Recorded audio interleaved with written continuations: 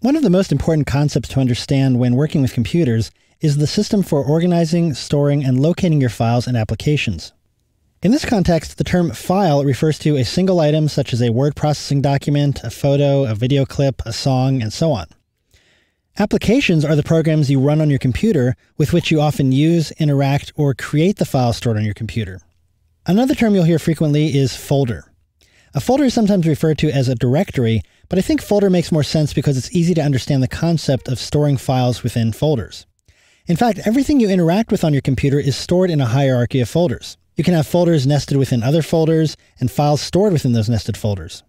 If it helps, you can think of your hard drive as one big master folder, or even a filing cabinet, where all the other folders are stored, accessed, and arranged. Let's take a look at an example of a file and folder hierarchy. I have this folder on my desktop called Bills, in which I want to store scanned versions of all my utility and credit card bills. I'm going to double click this folder, meaning I'm going to click it quickly two times to open it up. And inside this folder, you can see I have three files. They're clearly labeled electric, heat, and water with the month's name listed in the file name. Now, as I receive more bills, I could just continue to save them in this folder called bills, but as you can probably imagine, my folder would get pretty cluttered and disorganized quickly.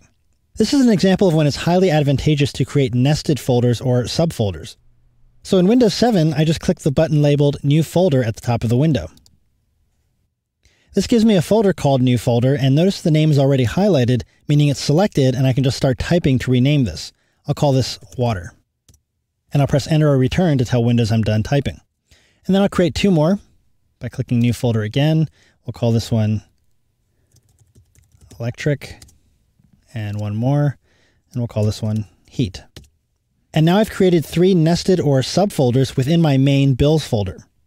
So with these subfolders created, I can now easily organize my various bills by dragging them into the appropriate folders.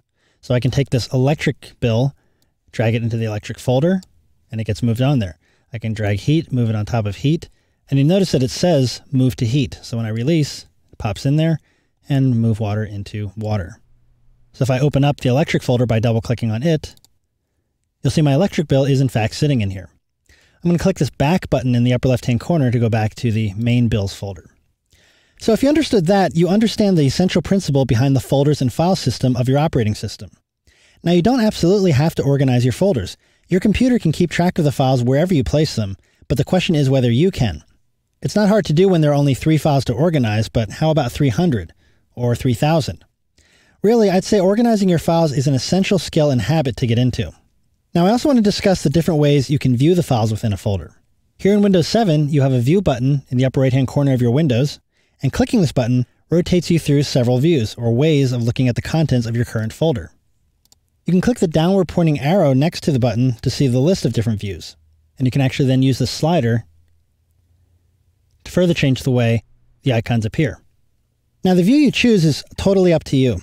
Your preferred view doesn't change the contents of the folder in any way, just how they're displayed.